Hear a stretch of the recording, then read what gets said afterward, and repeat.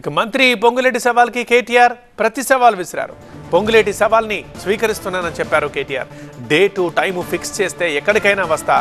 Amrit టెండర్లపై sitting judge లేదా సిబిసిఐడితో విచారణ జరిపించాలి అని అంటున్నారు కేటీఆర్. స్కామ్ జరగలేదని నేను నిరూపిస్తే ఒకవేళ స్కామ్ జరగలేదని మీరు నిరూపిస్తే నేను రాజకీయ సన్యాసం తీసుకుంటాను. లేకపోతే మంత్రి రాజీనామా చేయాలని చెప్తున్నారు కేటీఆర్. నిజంగా నీకు చిత్తశుద్ధి ఉంటే నువ్వు రా.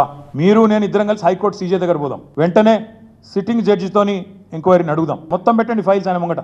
గతము ఇప్పుడు మొత్తం పెట్టండి. సిట్టింగ్ జడ్జి గారు కనుక ఇందులో ఏం తప్పులేం జరగలేదు అని ఒకవేళ వారు తీర్పునిస్తే ఆయన రాజీనామా అన్నాడు కదా రాజీనామా కాదు నేను రాజకీయ సన్యాసం చేస్తాను మంత్రి గారికి ఒకవేళ ఏమైనా ఇబ్బంది ఉంది హైకోర్టు సీజీ దగ్గర రావడం అనుకుంటే ఇద్దరం కలిసి కేంద్రంలో ఉండే సెంట్రల్ విజిలెన్స్ కమిషనర్ ఉంటాడు. ఇద్దరం పోదాం. నెక్స్ట్ వీక్ నేను పోతా నువ్వు కూడా రా.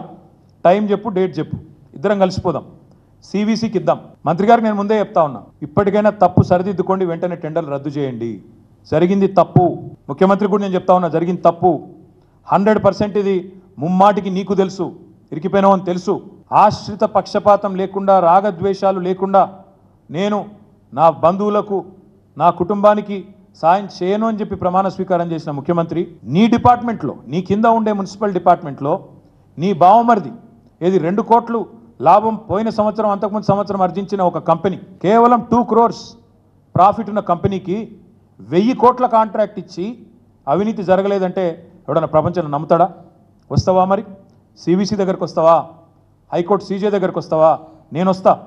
డేట్ చెప్పు టైం చెప్పు. నువ్వే అపాయింట్మెంట్ తీసుకో. మంత్రి గారికి అంత చిత్తశుద్ధి ఉంటే రా. నేను వస్తా. వాళ్ళ విచారం మొత్తం ఫైల్స్ పెట్టండి. ఇప్పటికైనా ప్రభుత్వాన్ని నేను డిమాండ్ చేస్తున్నా. సిగ్గు తెచ్చుకోండి. ఇంత బరితెగింపు మంచిది కాదు.